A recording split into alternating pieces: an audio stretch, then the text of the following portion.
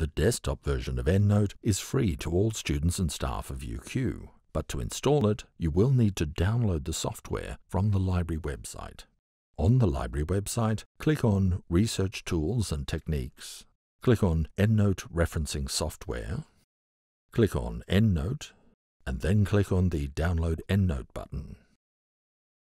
You'll need to sign in if you haven't already.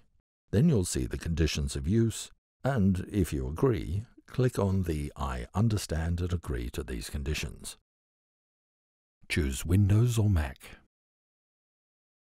After a few seconds, the software will begin to download.